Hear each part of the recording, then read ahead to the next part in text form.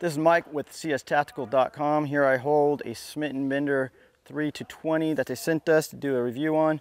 It is mounted to a 260 AR-10 that we got from Gap. Uh, this uh, system shot really, really well.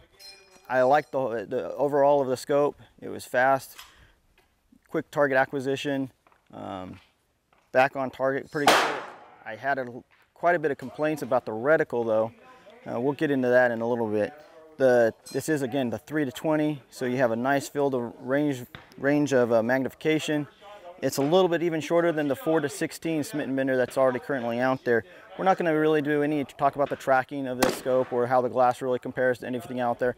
We know Smith & Bender holds high standards in all those aspects, so that's not going to be really about the review. This is going to be more about the functionality of the scope, what I saw, what I liked about it.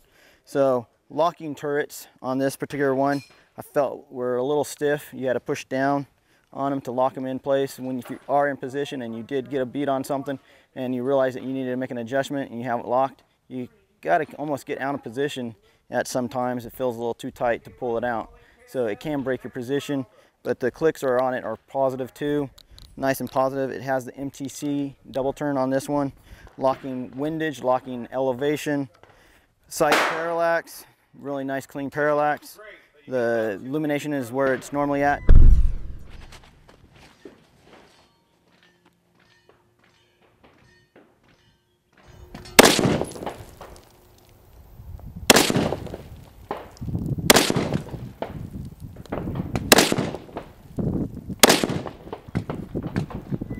What sets this scope apart mm, is that you got a 50 millimeter lens and you got a 50 millimeter back eyepiece.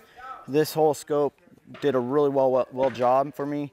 I felt like this would be a great for an AR-10 platform or even just a, a gas uh, a bolt gun. This scope has a 34 millimeter tube. Um, it has everything basically that we find from the, the normal S&Bs and it just made it a little bit more compact, tight package with a nice range of uh, options here.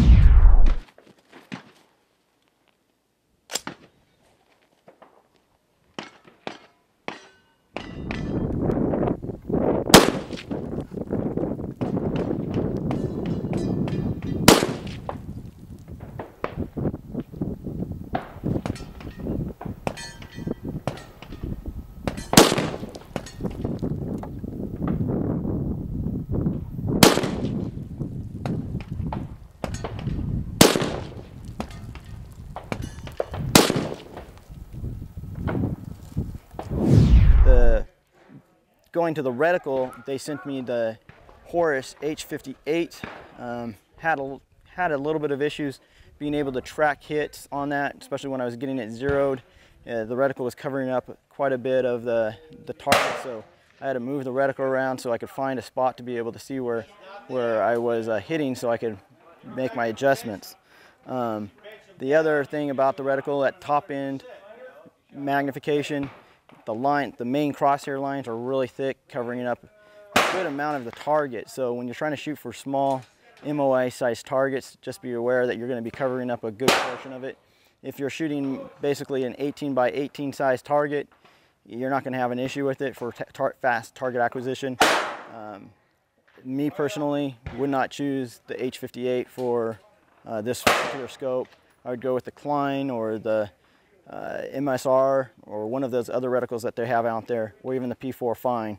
Uh, so that's what I'm going to be choosing out down there in the range when I'm going to be getting one of these myself, and we'll be running it for a while. But uh, it's a nice scope. What we kind of, expect, like I said, what we expect from Smith & Bender. The whole scope ran real well, uh, tracked real well, but uh, but overall, the scope is basically what we would expect from Smith & Bender. Um, if you have any more questions, feel free to go to CS Tactical and ask them there.